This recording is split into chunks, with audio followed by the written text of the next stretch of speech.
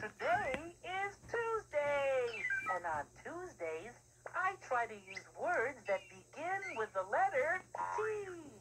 Words like Tomato, trumpet, teacup, and ticklish. have a terrific Tuesday.